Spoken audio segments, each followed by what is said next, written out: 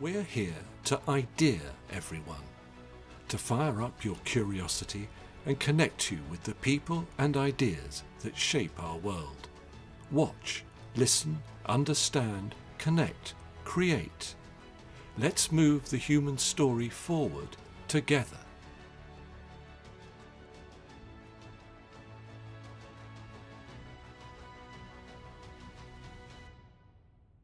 Hello and welcome to The Poetry of Science, a podcast which provides insight into new scientific research via the medium of poetry. I'm your host, Dr. Sam Illingworth, and each week I'll be introducing you to some of the latest scientific findings and sharing a selection of science themed poetry. We could all do with a little bit more poetry in our lives.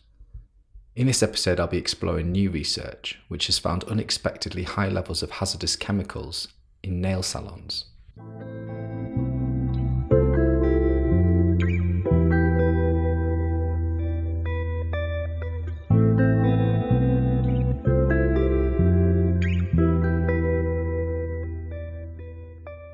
Give me your hand as I mask my concerns. Sit back and relax with worries about skin as I remove old polish.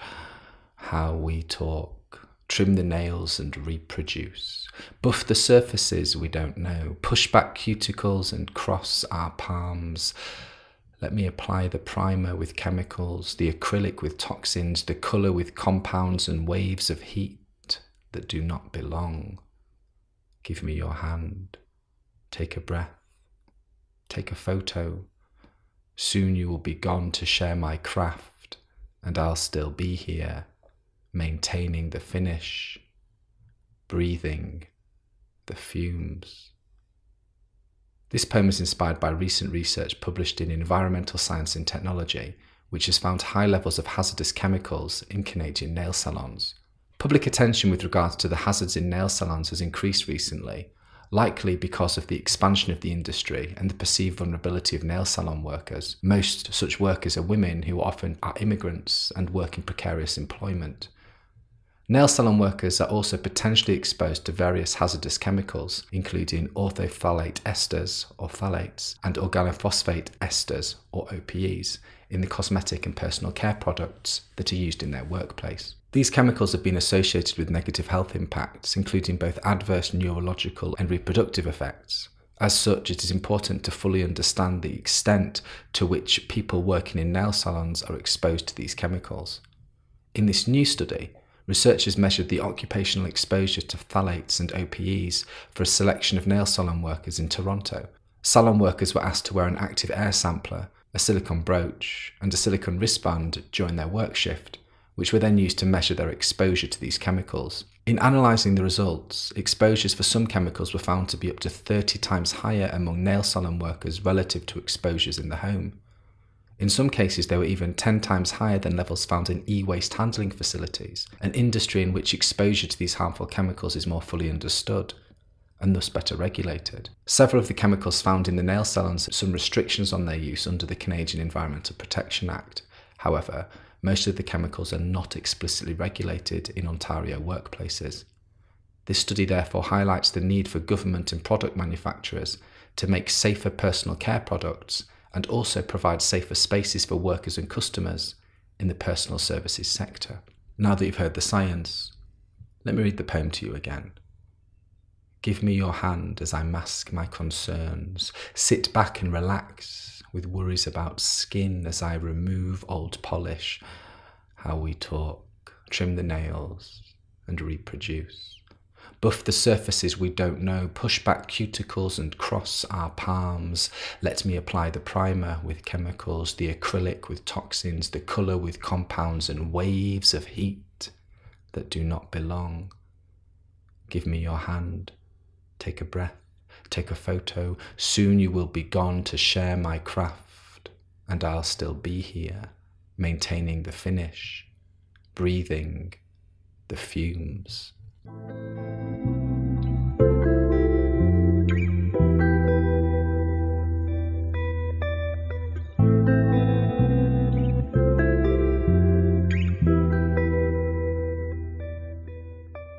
In this section of the podcast, I like to share a poem written by another poet on a topic related to the science that has been discussed so far.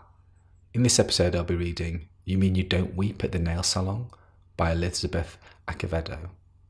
Elizabeth Acevedo is a Dominican American poet and author who was born in 1988 to Dominican immigrants and raised in Harlem, New York. She earned a Bachelor of Arts in Performing Arts at George Washington University and an MFA in Creative Writing at the University of Maryland.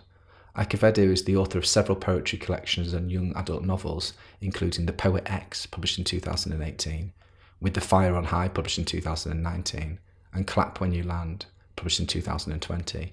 Her various accolades include a National Book Award, the Carnegie Medal, and a Boston Globe Horn Book Award. As well as being a previous National Slam champion, Acevedo has also been a Fellow of Cave Canem, CantoMundo, and a participant in the Callaloo Writers' Workshops. You Mean You Don't Weep at the Nail Salon by Elizabeth Acevedo.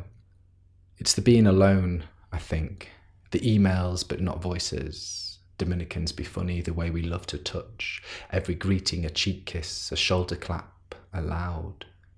It got to be my period, the bloating, the insurance commercial where the husband comes home after being deployed, the last of the gouda gone, the rejection letter, the acceptance letter, the empty inbox. A dream these days, to work at home is a privilege, I remind myself. Spend the whole day flirting with screens, window, TV, computer, phone, eyes and eyes and eyes, the keys clicking, the ding of the microwave, the Broadway soundtrack I share wine with in the evenings. These are the answers, you feel me? And the impetus, the why of when the manicurist holds my hand, making my nails a Lilliputian abstract. I close my fingers around hers, disrupting the polish. Too tight, I know then, too tight to hold a stranger, but she squeezes back and doesn't let go. And so finally, I can.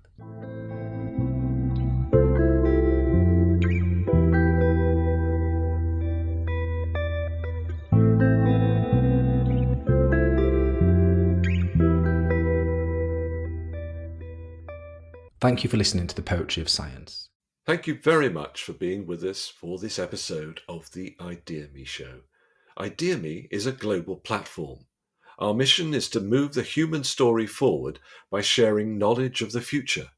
You can find us on all major audio networks at www.radioideaxme.com, on YouTube and Vimeo. Please subscribe.